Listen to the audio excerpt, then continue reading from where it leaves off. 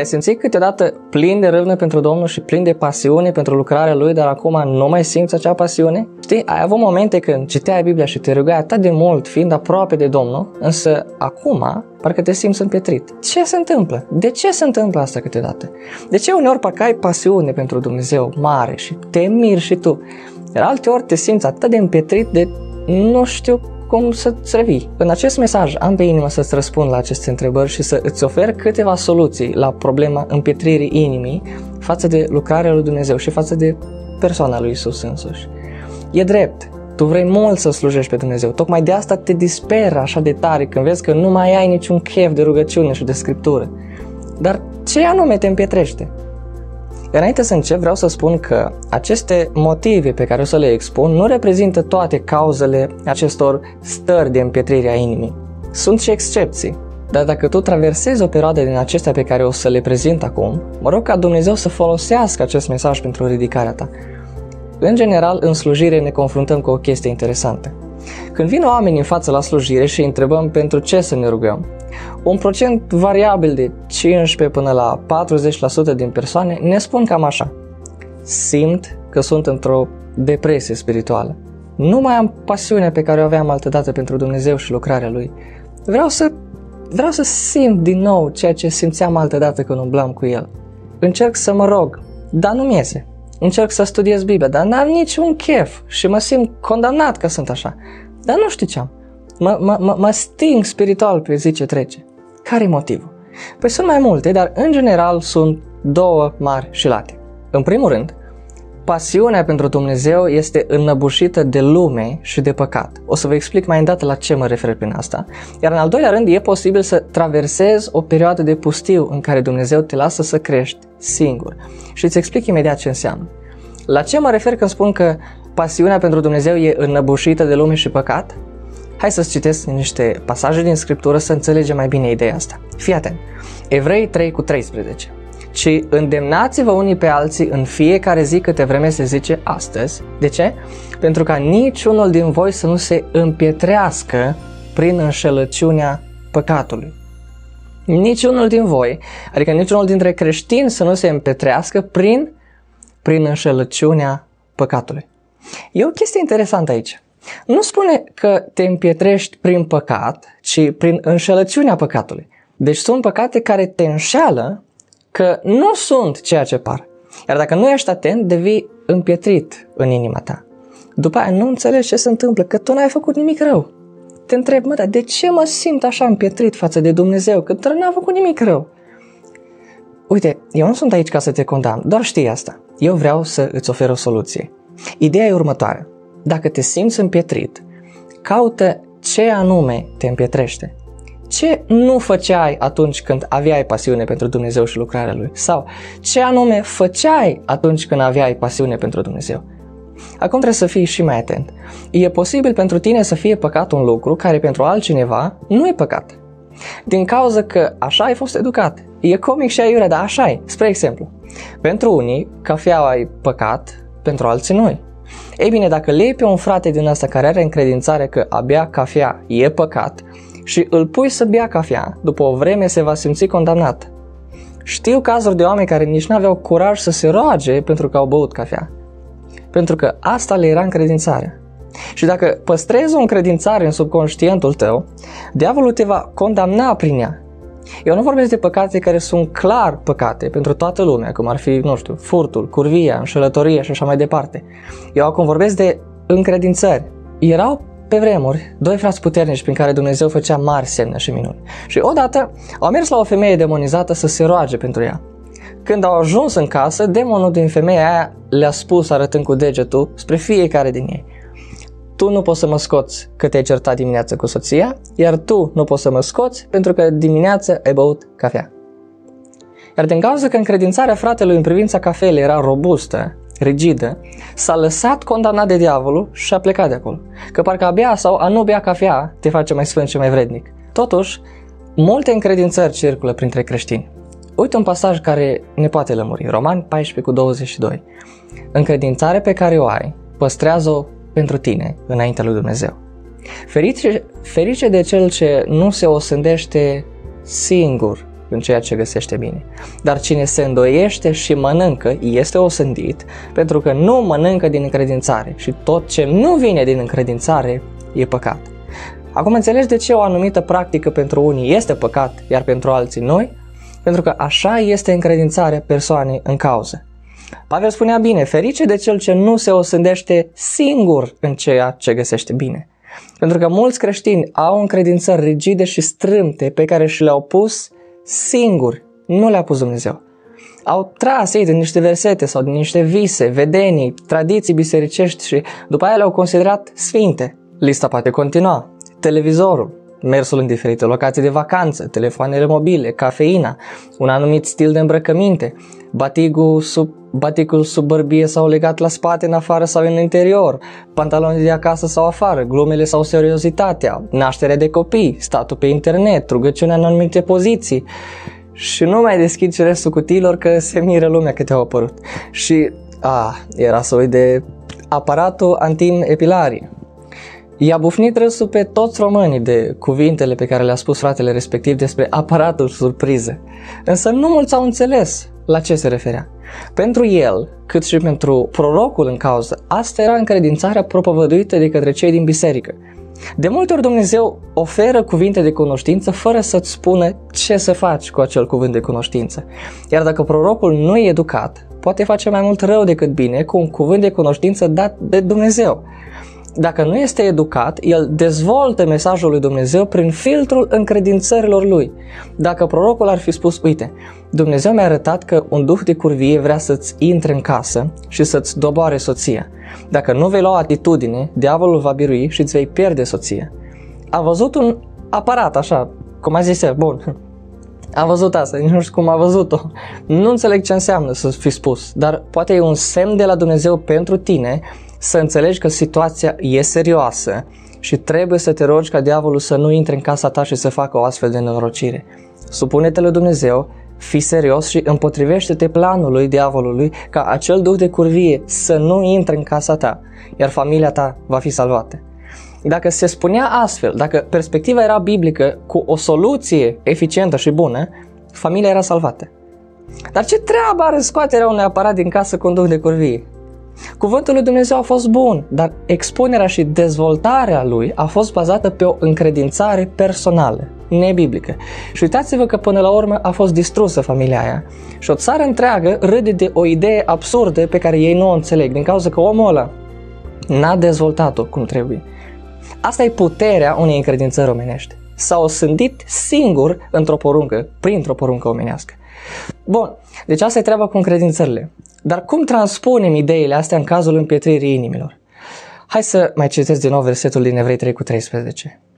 Ci îndemnați-vă unii pe alții în fiecare zi, câtă vreme se zice astăzi, pentru ca niciunul din voi să nu se împetrească prin înșelăciunea păcatului.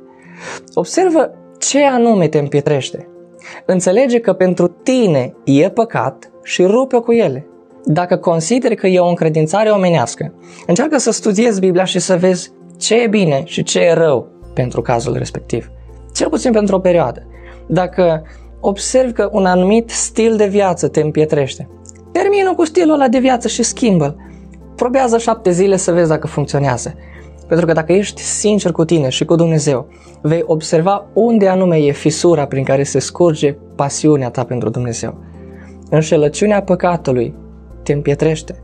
Te rog, nu te împietri singur prin înșelăciunea păcatului și nu te împietri singur prin încredințări false.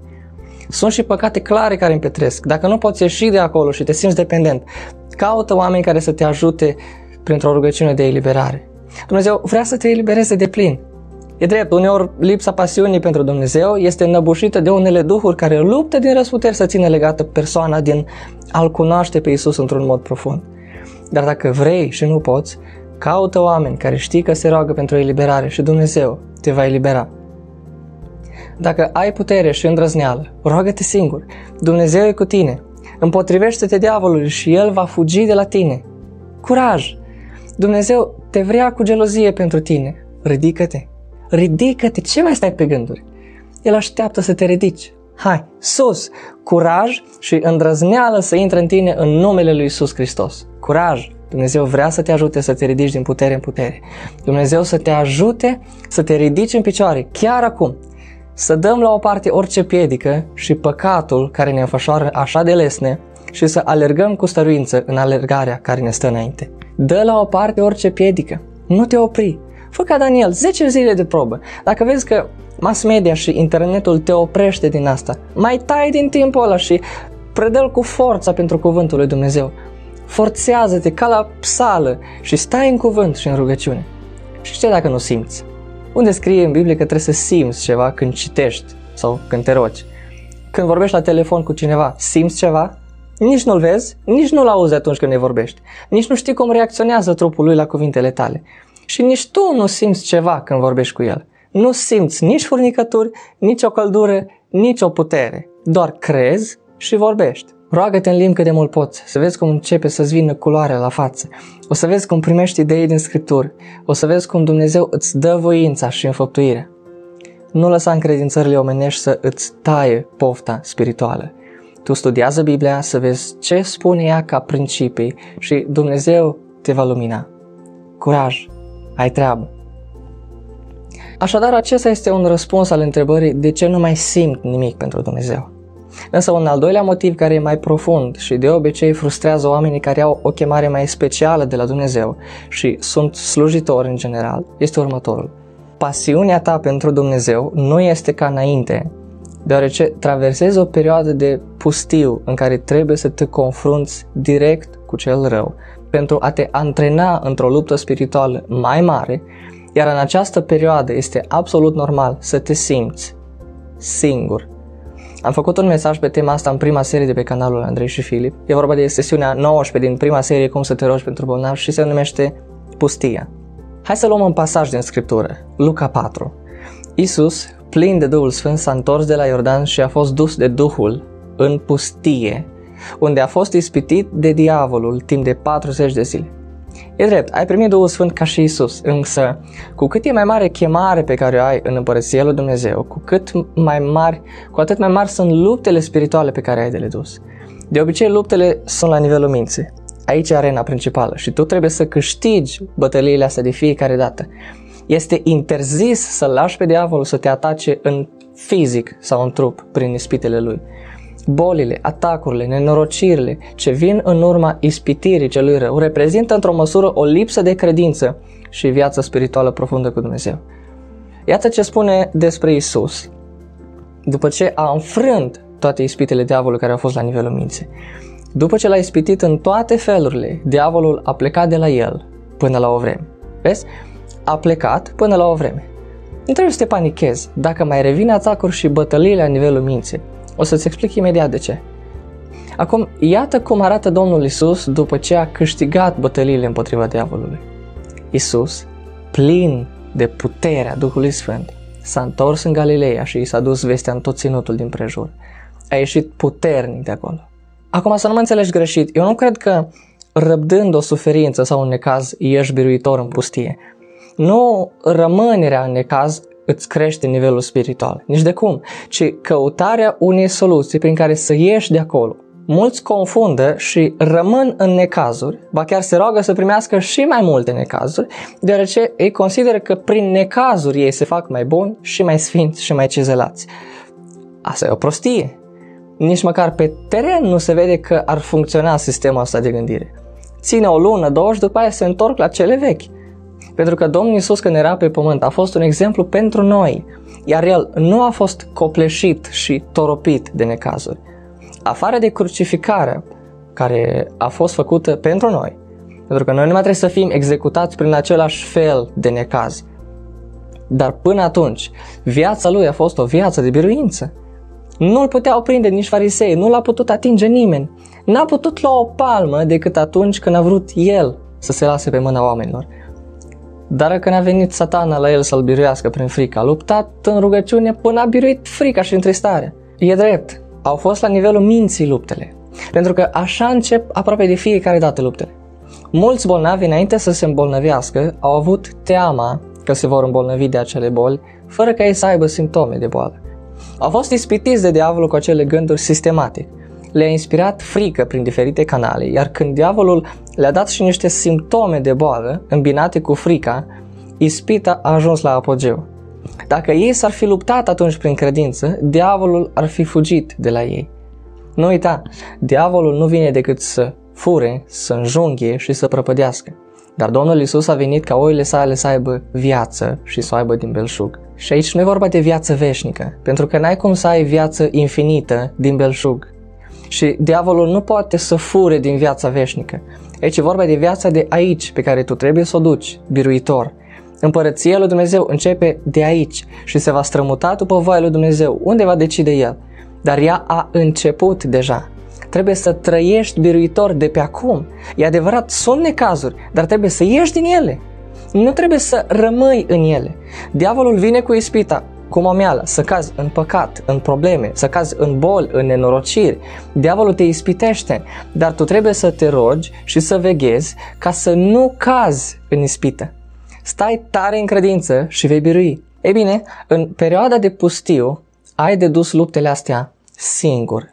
E drept, la început erai pe val, dar asta e din cauza că Dumnezeu era cu tine mai profund și avea grijă de tine ca de un bebeluș în credință. De asta te simțeai atât de îngrijit și atât de protejat, dar Dumnezeu vrea să crești. Iar ca să crești, câteodată trebuie să înțelegi că în luptele de la nivelul minții trebuie să lupți singur. Singur, dar în numele lui Isus. Dar singur. Nu e așa că de multe ori când erai ispitit în gând, nici nu-ți păsa, frate. Plecau de la sine și uitai de ele. Nici nu contau pentru tine. Nu ți era frică, nu nimic. Copac. Pentru că Duhul Sfânt era cel care mijlocea și lupta pentru tine. Te sculai noaptea și te trezeai vorbind în alte limbi. De fapt era Duhul Sfânt care lupta pentru tine și te-a salvat fără să știi de ce. Dar din când în când trebuie să crești și tu. Trebuie să te antrenezi. E drept că te simți singur, dar asta e și ideea. De-abia atunci trebuie să mergi prin credință. Câte vreme îl simțeai pe Dumnezeu aproape, mergeai prin vedere și prin simțire, nu prin credință. Nu te teme. În cazul ăsta nu e vorba de păcat, nu e vorba că ai luat o perătură, e un timp de ispitire pentru tine, e un timp de încercare, e un timp în care trebuie să te supui lui Dumnezeu și să te împotrivești diavolului că el să fugă de la tine. În perioada asta trebuie să te forțezi să citești Biblia, trebuie să te forțezi să te rogi. Până și Isus lupta în rugăciune direct proporțional cu nivelul ispitei. În Luca 22 cu 44 spune așa, a ajuns într-un chin ca de moarte și a început să se roage și mai fierbinte și sudoarea ei se făcuse ca niște picături mari de sânge care cădeau pe pământ. Observi?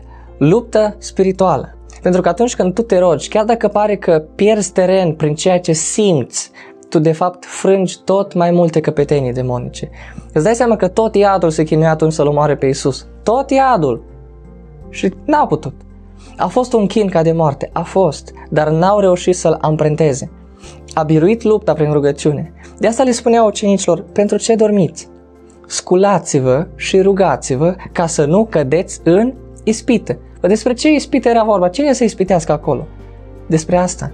Prin rugăciune și veghere nu vei cădea în ispită.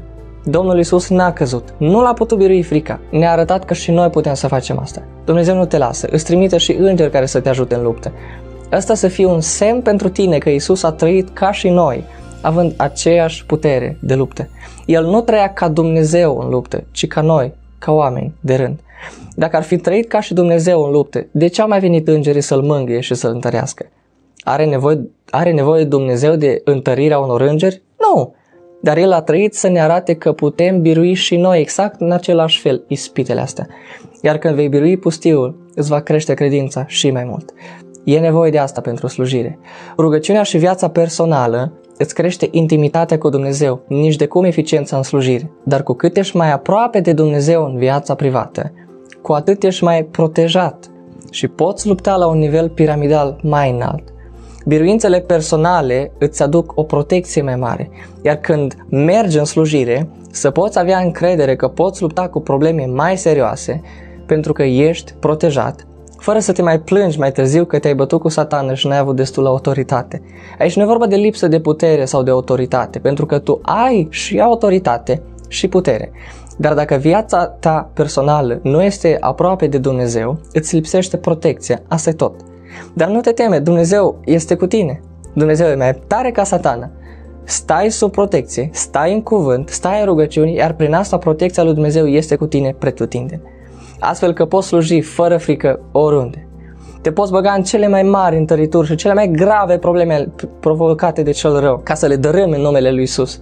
Din cauza faptului că tu ai trecut prin pustiu și l-ai biruit pe satana prin sângele mielului și prin cuvântul mărturisirii tale, nu ți-ai nu ți-a iubit viața chiar până la moarte. Și din cauza asta el nu se poate atinge de tine, că știe că va pierde și mai mult teren.